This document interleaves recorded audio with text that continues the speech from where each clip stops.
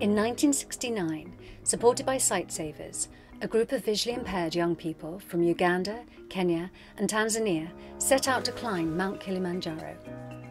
They did it to challenge perceptions of people with visual impairment and to encourage blind children to go to school. When they reached the summit, the climbers sent a message to the world. This is a moment of glory. We have met fear and we have conquered it. Queen Elizabeth II sent a telegram of congratulations, and the achievement made headlines around the world.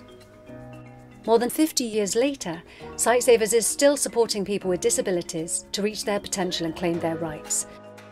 To go to school, to work, to access healthcare, and to have their voices heard. Will you help us make a truly inclusive world a reality? Take action. www.sightsavers.org/campaign.